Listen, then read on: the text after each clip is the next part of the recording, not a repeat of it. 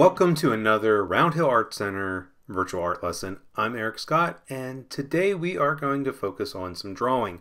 We're going to focus not specifically on how to draw a certain picture, but on a technique for making things look more three-dimensional. And so uh, I'm going to share with you a technique how we can take simple shapes like circles and squares and even triangles and rectangles, uh, even more complex shapes like like hexagons or octagons or even letters and make them look more three-dimensional. And so let's go ahead and talk about what you're going to need and then we'll dive into the drawing. So today we are just simply drawing. So I have just some plain white drawing paper and a pencil. You can draw with anything, but I like having a pencil because I can erase it. And of course I have my uh, white vinyl eraser, but any kind of eraser will work. Um, so we're focusing on drawing 3D shapes or 3D forms. So we want we want to kind of take it into the third dimension. So let's talk about dimensions first. So dimensions, we have 2D and 3D is what we talk a lot about in art. So 2D is this paper, it's flat. So it has two dimensions. It has length, so the long side, that is the length. This happens to be 12 inches long. And then the short side, that's the width, that's how wide it is, and that's about 9 inches wide. Okay, so when we draw a shape, a shape has two dimensions. So if I draw a square, now a square is basically, you know, all four sides are exactly the same same uh, length, okay? Um, so it's two-dimensional. It, it, it's so many inches wide, so many inches long as well. Same thing with a rectangle. If I draw it, Again, it's a flat shape right now. So, you know, we're, we're used to drawing these shapes. So uh, this is wide here and it's long here. So it has uh, length and width. But we want to learn how to make it look like it has a third dimension. And sometimes we call that depth or height. So I want to draw these so they look like they go back into space. Now there there are other shapes too that we have to kind of think about. So I'm gonna I'm gonna show you how to, you could do a triangle, and then we can even throw in a circle, which is a little bit harder. Okay, so these are all flat two-dimensional shapes. So the easiest way to create that look of dimension, um, to make it look 3D, is to draw in the top and the side if we see them. Okay, so with the square and the rectangle, that's pretty easy because of the sides. Okay, so the way I want to do this is I want to draw in three diagonal lines, at least on my square. Okay, and if I start at this one, maybe it'll be a little bit easier. I'm going to draw a line that's diagonal. It means that it's slanted. Okay, and then I want to come to this corner and draw a line and then this corner. However, I want the lines, these diagonal lines, to be parallel. I don't want this to be slanted up pretty straight. I want it to be slanted just like that one slanted. And I want it to be the same length or about the same length. So when I draw it, I want to go back and have it slanted and have it about the same length. Actually, I think I have it a little bit longer, so I think I'm going to make this one a little bit longer. Okay. And so that starts to look like the top of the square. And then I want to do the same thing on the side. I want to draw that diagonal line, that slanted line. So it's the same kind of slanted, you know. So basically the distance between here and here will be about the same as between here and here, okay? So then I want to draw in my back. So when I draw in the back of my shape, well, the front of my square is straight up and down. So I want to do the same thing in the back, straight up and down. And then the top of my square right here is straight across. So I want to draw that straight across. Okay, so that's a horizontal line, that's horizontal, vertical, vertical. And all of a sudden our flat looking two-dimensional square starts to look like a cube. And I could do the exact same thing here with the rectangle. It's the same idea. So I want those three lines to be slanted.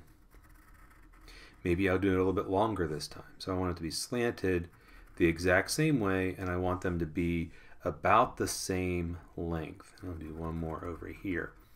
Actually, if I look at this, I always think of it, uh, it kind of looks like a table that has been tipped over and that this is the table, the part where you eat off of, and these are the legs sticking out. Okay, that's kind of how I think of it. And just like I've done before, just like with a square, I have to look at the front. So always look at the front here. Okay, so this is a vertical line that goes up and down. So when I do the back, I want to do the same thing. I want to go up and down, straight up and down. That's a vertical line.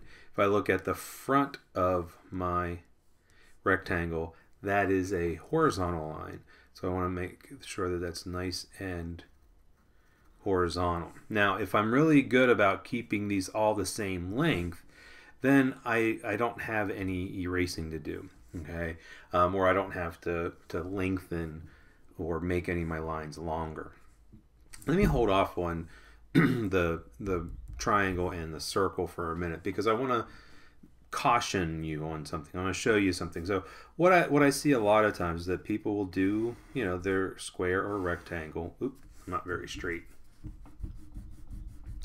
Now I, I'm pressing really hard with my pencil so that you can erase, or so that you can see it, but it doesn't erase really well. So you do want to be careful of that.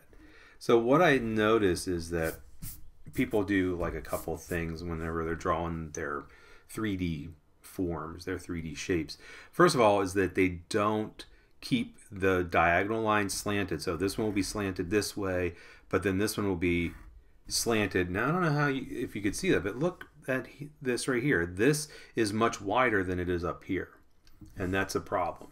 And then over here they'll do the same thing. Instead of having it slanted as much, they'll come out like this. Okay, and again, it is not the same. Okay, and then that's going to create a box that looks really odd whenever I connect the lines. I mean, it still looks kind of dimensional, but it looks like the back of the box is much bigger than the, the front of the box, and that shouldn't be. That's because these three lines are not parallel. They're all slanted lines. They're all diagonal lines, but this one barely slants. This one slants quite a bit, and then this one's almost flat. Okay, so you have to be careful of that. Let me show you one more thing that a lot of people do. And that is when they might get the slant of their lines right. So they might draw in three lines and they'll get them all slanted correctly. But I don't know if you can tell. This line is longer than that line, and this line is longer than that line. And so instead of paying attention to the front, people will just go, "Oh, I'll just I just connect the back." And so whenever I connect these two ends, that line slants. Okay? So it's not straight up and down. It should really be straight up and down. And then over here, they do the same thing. They connect the two. So now the top of that slants. So that's a real big problem that whenever people do this. So um, anyway, so those those are the two things that you want to try to avoid. As you practice it, you'll get better at it and better at it. But the idea is to have your three slanted lines. Well, not all shapes have three slanted lines, but in this case, the squares and the rectangles do. Um, so have my three slanted lines that are all the same length and all the same type of slantedness. Now the triangle and the circle are a little bit different. I'm going to do that same slanted line and so I'm going to start here with the triangle. So when I slant it, it's going to be the same kind of slant. And then I come up here and do the same thing. Now again, I want to make sure it's the it's parallel with this, that it, it's the same kind of slanted line. Now, if I were to go over here and do it, oh, it would go through the triangle. and that's not what I want to do, okay? Because that would make it look like the triangle is see-through. So really with this one, I only see the side of the triangle because I'm not going to be able to see both of those sides at the same time unless I'm really looking down uh, on top of it. So what I want to do now is to connect the back. But again, I want to do like I've done here, look at the front. So here the front goes this way. And so when I come back here, I want to make sure that it slants the exact same way. And you can see I have a little extra. So if I were to connect the ends, that would make it look kind of odd. So I can go in here and erase that. and so now I have this, um, this tent-like shape. So you can see how that looks 3D. Now, if I wanted to do a circle, and a lot of times when we think about circles, we think about a ball. Well, I can't really draw in another line to make it look like a ball. I can do something. I can um, think of like a globe. If I think of a globe and I think about like the equator, okay, because I can't draw in other lines because it, it, won't be a sphere. It won't be a ball. Um, but if I do draw in kind of a curvy line around the center,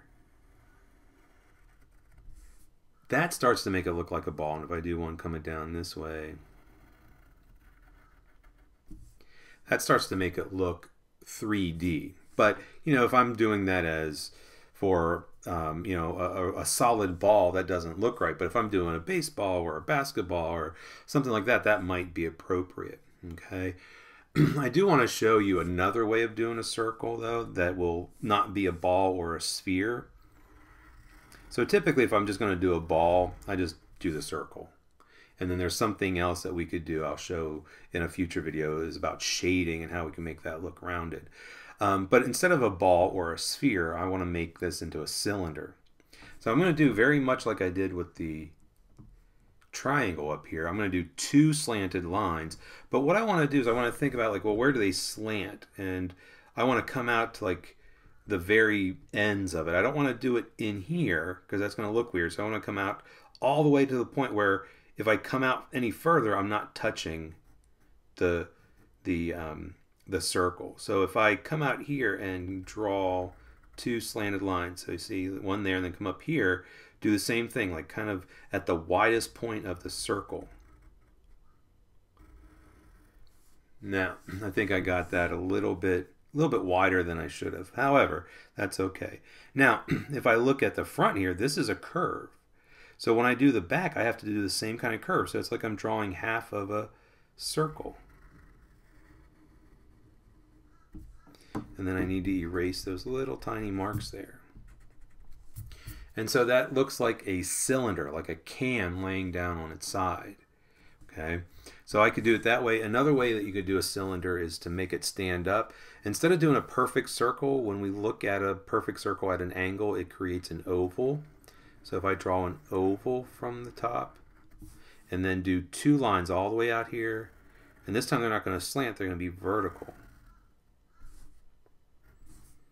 And then to do the bottom, I have to make it the same as the top here. And so then that has to be curved the exact same way as the top.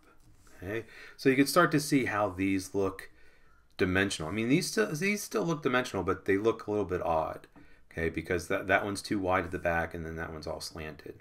Okay, so that's some of the basics of how you can draw. I want to show you a couple more ideas, and then show how you could take this and, and apply it to something maybe that you've already done. So let me go ahead and switch out the papers. Okay, so we could do more complex shapes too, and I want to show you that, and I want to show you how we can start to combine shapes. So let's go ahead and talk about combining shapes, because we can use two shapes that we are already familiar with, that we've already done. So let's say that, hey, I wanted to want to draw a house. So I'm going to draw a house over here. And so typically, you know, we think about when we draw a house, a lot of people, a lot of young artists will draw a square or a rectangle for the bottom and then they want to draw a triangle on top. Okay, very simple house, but doesn't look very 3D. It's actually very flat. So I want to make it 3D. And I'm going to do it the same way. I'm going to start at the corners. I'm going to draw diagonal lines back. Maybe make them a little bit longer than I did before. That way the house is nice and long. So I can draw this, slant it out, slant it back like that. Come up here to this corner. Again, I want that same diagonal line. I'm going to come up here to the top of the triangle and do the same thing. I want to try to keep those three diagonal lines exactly the same. Now, if I come over here, oh, if I try to draw my diagonal line, it'll go through my box, my house. If I come up here to the triangle, same thing, it's going to go through the house. And so I don't want to draw it over here because that's going to look really odd. Um, so I always want to keep it going in the same direction. So if I start here and I'm going, all three of those go back in the same direction. And then just like I've done before, this is just a box on the bottom. So I need to have a vertical line in the back. Okay, I'm going to purposely shorten this up a little bit, nice vertical line, because I can see like, look how much longer this bottom line was than here. And the same thing, I think I got this top line really long. So if I were to connect them, that would look weird. So I want to come up here and I want to make a parallel line that's slanted just like this. So sometimes, sometimes I find it's helpful if I kind of move my hand back and forth. I get that kind of how it's supposed to slant. And then I can erase.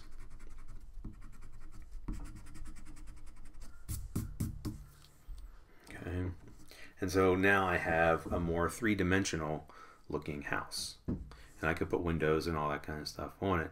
Um, but let's talk about some uh, more complex shapes. So let's say that, hey, I want to do, uh, let's think about, uh, um, let's see, a hexagon. So a hexagon has six sides, right?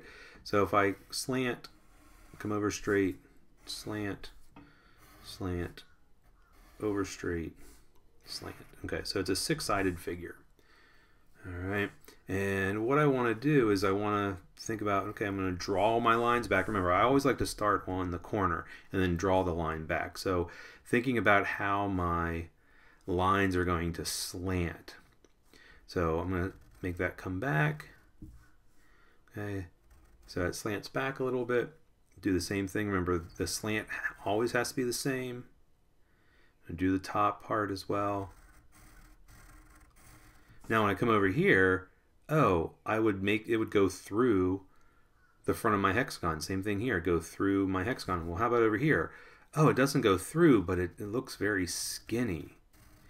But I want to keep it slanted the exact same way, and I want to make it about the same length. So I'm going to start up here, and again, parallel. So I want to have the back of my shape parallel with the front. And so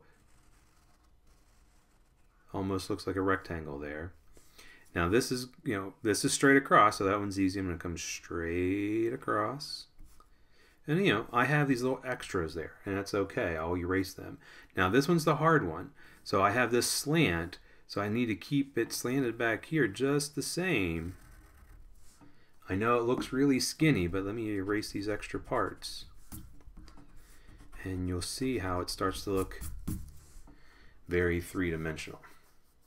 Okay, so complex shapes, a little bit harder, but it's still the same basic technique. So I can go even even more complex. So if I'm thinking about letters, and that's kind of where we're going to go next. So I'm going to do a letter here. So the letter E is just basically made up of rectangles. So again, if I just draw out my diagonal lines. Okay, so those are really easy and I can connect. So nice vertical line there, nice vertical line in the back, horizontal on the top, horizontal in the back. Okay, but I don't want to forget about these parts. Okay, um, these are like little rectangles sticking out. So I want to do the same thing. I start here on the corner and I want to go back so I want it to be slanted just like this, and I want it to be the same length. Same thing here. I want it to slant back. I want it to be about the same length, and I think it's going to kind of touch that and go underneath. But right here, that's going to go underneath like that. So I wouldn't draw it from here or here or here because it would go through my letter. But now I have a 3D looking letter. Okay. So those are some of the basics of how to draw 3D. This is there are more advanced ways, but this is a good way if you don't know how to do some make it look dimensional. This is a good way of of learning and practicing. But I want to show you how you could take this and you know you could make a, a picture with a house. Um, but I'm going to go to something that we've done before, and that's letters. So I use the word hope, and I want to make this look 3D. Okay, so how do I do that? Well, I just kind of think about the shape. So this is basically rectangles. This is a circle or an oval. Um, this is part of a rectangle, part of an oval. This is mostly rectangles. I've already done the E, but um, show you how to do it again.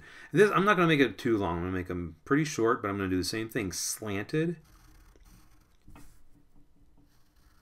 All the same slant, all the same length. So if I take one part at a time, I mean, I, I might want to try to draw every part of the H, but there's going to be a lot.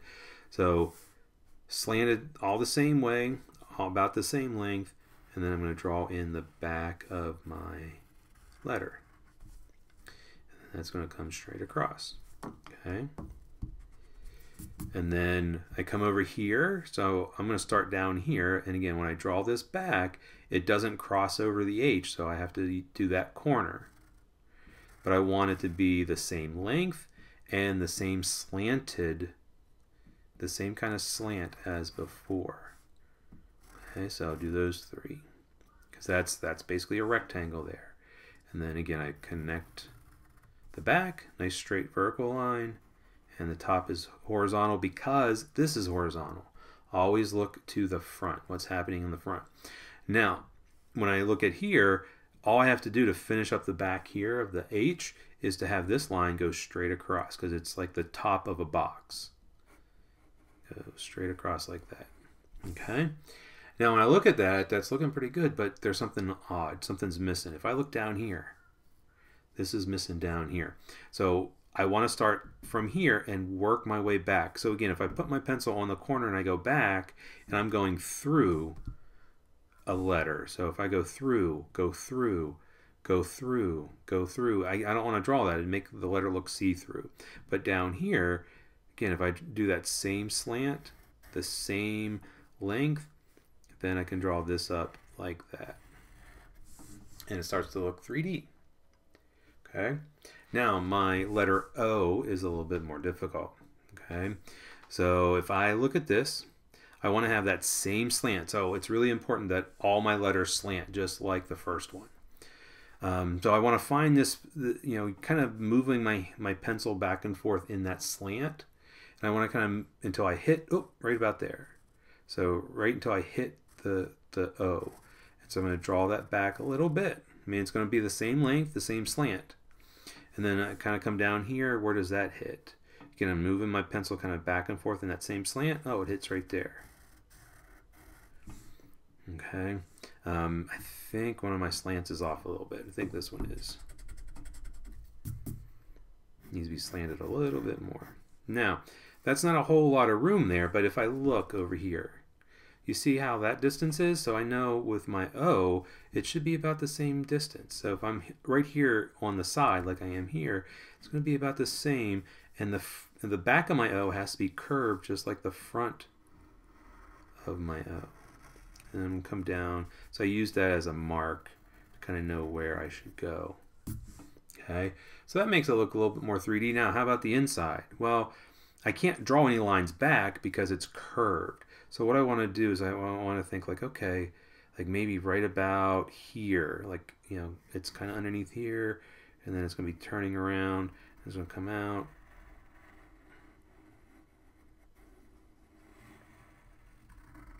So what I'm trying to do, and I don't think I did a really good job of it. So I'm trying to make this curve exactly like that curve right there. So it start, it looks pretty. Eh, I'm not. It's not 100. percent I don't like it 100. percent So anyway, that's a little bit better. Okay, and then move on to my P. So again, the same kind of slant as I have over here on my H. Same length. Okay. And then I want to connect. I'm not going to, well, I guess I can come over here. So it's like the O right there. I want to have that slant about the same. Okay. And then when I do the back, uh-oh, look, if I draw it, it's going to go through the O. So I'm going to draw it up and then stop at my O and then come up here and finish it. And so that way that part looks like it's behind the O. Now when I do the top, look at the top of my P and it's the same kind of curve. Makes that look 3D. Now I don't have to worry about anything on the inside because this is real small. If it was bigger, then I might do something like I did on the inside of the O. Alright, and then finally my E, those slants, so the same kind of slants. Alright, and then I want to connect that, it's got to be nice horizontal. And then just like with my P, the E kind of goes behind the P, overlaps. Okay. Right here, this is going to be a slant, and here's going to be a slant. Again, if I'm drawing it through the E, then I don't want to actually draw it. Okay, and there's the word hope, and it looks looks pretty 3D. Um, my I think my O needs a little bit of work, but looks a little bit flat back here.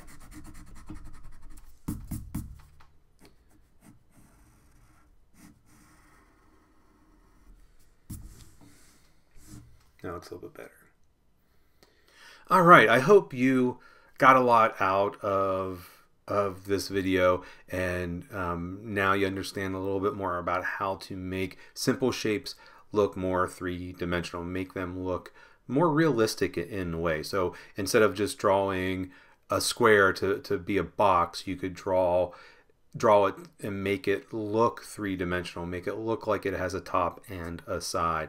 Um, and then you can start to put those together. Uh, like like I showed you in the demonstration I did something that looks like a house so you could do a whole scene and and have a three-dimensional house or you could do letters like I showed you and and create something that's a little bit more than just flat letters. So anyway hope that you uh, enjoyed this and feel free to, to try this out, do your own kind of three-dimensional drawings, and we would love to see it, so make sure that you tag us. And until next time, thank you so much for tuning in. And as always, happy creating.